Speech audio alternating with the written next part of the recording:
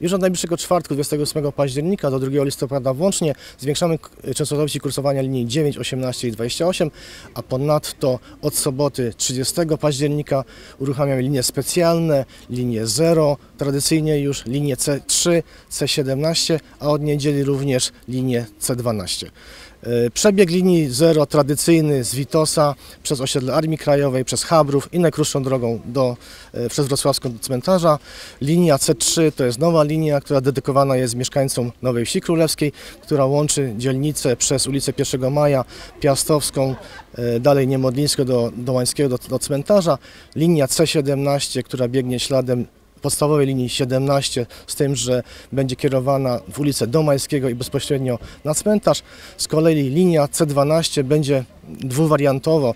W niedzielę 31 będzie łącznie z ulicą, obsługa włącznie ulicę wspólną, a już 1 listopada wyłącznie ulicą Domańskiego do płyty przy ulicy e, Cmentarnej. Mówił Pan o zwiększeniu częstotliwości, to znaczy jaki ten tabor wy, wyruszy, e, do jakich godzin będziemy mogli jako pasażerowie liczyć na tę zwiększoną liczbę tych autobusów. Autobusy pierwsze będą wyjeżdżały już z granicy 8-9 i systematycznie będą w- wprowadzane kolejne.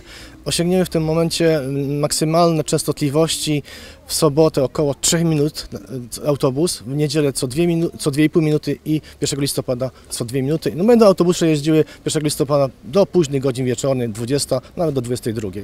Najważniejsze e, zmiany dla pasażerów wprowadzone są w autobusach, e, przecież już mamy od miesięcy i biletomaty, e, no bo pewnie ten, tak jak Pan powiedział, ruch będzie bardzo, bardzo wzmożony i tych osób i pasażerów może być dużo, jeśli chodzi o z kolei względy bezpieczeństwa w autobusach. Należy zwrócić uwagę na zasłanianie ust i nosów w autobusach.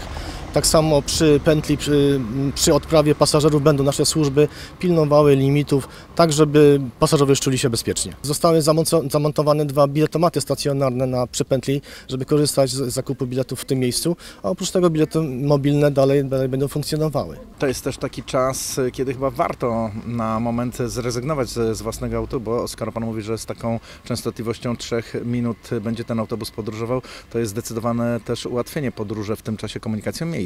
Na pewno tak, warto w tych dniach skorzystać e, z naszych usług. E, Na pewno z miejsca mie- zamieszkania do, do pętli przy ulicy Cmentarnej Sportu na, na pewno można wrócić, dojechać i szybciej niż szukając e, miejsca parkingowego na samochód osobowy.